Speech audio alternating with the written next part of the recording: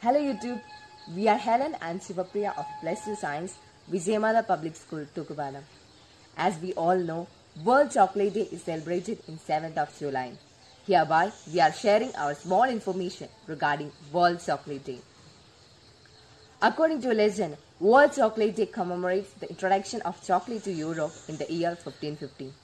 Before that time, chocolate was limited to specific regions and countries. For example, South and Central America and Mexico. It was discovered by foreign invaders and later traveled to many other countries of the world. It became a favorite wherever it reached. Now, let's see some interesting facts about chocolate. Chocolate was not just a tasty bitter drink in Aztec culture, it was also used as a currency. A whopping 30% of world's cocoa is grown in Africa, but it was really originated in Amazon.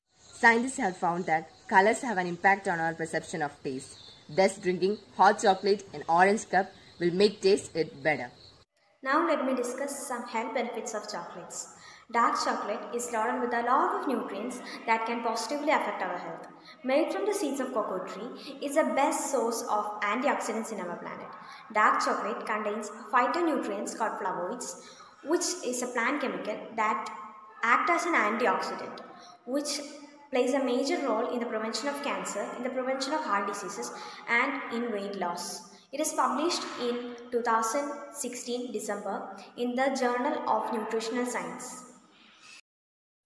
An observable study has shown that a person who consumes a small amount of chocolate per day have a low risk of heart diseases and have a healthy heart. Consuming 100 gram of chocolate per day increases our blood flow to all the cells and hence prevent sunburns. Chocolate is a great source of magnesium, manganese, copper, fiber and many other nutrients. Thank you.